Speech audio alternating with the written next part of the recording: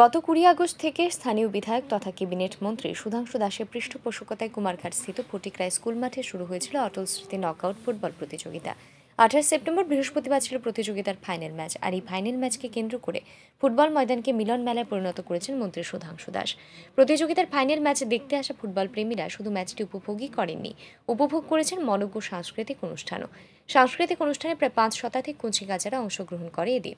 এদিন এই জন উচ্ছ্বাস থেকে মন্ত্রী বলেন, এই ফুটবল টুর্নামেন্টের শুরু থেকেই প্রতিটি ম্যাচে দর্শকরা মাঠটিকে কানায় কানায় পূর্ণ করেছেন, আর বৃহস্পতিবার এই টুর্নামেন্টের ফাইনাল ম্যাচে দর্শকদের এতটাই ভিড় ছিল যা চোখে না দেখলে বিশ্বাস করা সম্ভব নয়। এই ম্যাচে উপস্থিত থেকে এই খেলার সুনাম বৃদ্ধি করার জন্য দর্শকদের ধন্যবাদ জানিয়েছেন মন্ত্রী সুধাংশু দাস।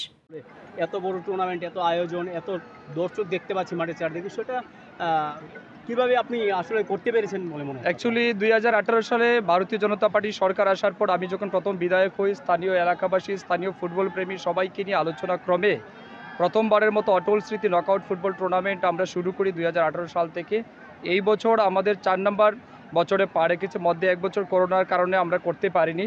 তো এই বছর আমাদের Atal Smriti knockout football tournament knockout tournament season four দুই হাজার তেইশ আমরা সম্পন্ন করেছি। ইতিমধ্যে আজকে চূড়ান্ত তথা ফাইনাল ম্যাচ অনুষ্ঠিত হবে। মাত্র কয়েক মিনিট সময় আমাদের হাতে বেঁচে আছে।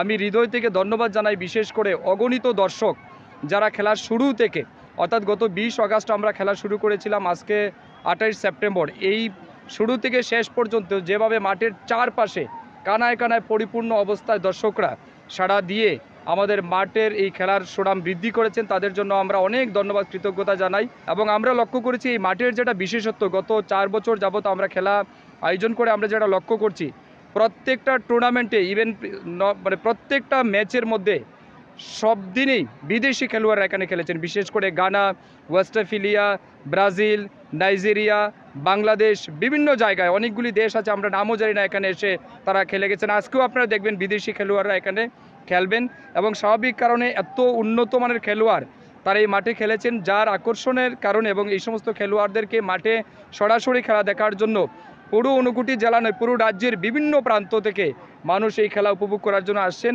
নেশামুক্ত ত্রিপুরা গড়তে হলে সকলকে মাঠমুখী হওয়ার জন্য আহ্বান জানিয়েছিলেন রাজ্যের মুখ্যমন্ত্রী ডাক্তার মানিক সাহা। আর মুখ্যমন্ত্রীর স্বপ্নকে কীভাবে বাস্তবে পরিণত করতে হয়, তা দেখিয়ে দিলেন মন্ত্রী সুধাংশু দাস। খেলোয়াড় ছাড়াও কীভাবে দর্শক বা সাধারণ জনগণকে কীভাবে নেশার কবল থেকে সরিয়ে খেলার মাঠের প্রতি আগ্রহী করে তোলা যায়, তার এক দৃষ্টান্ত রাখলেন মন্ত্রী Sudhanshu Das. Bureau report, R E news.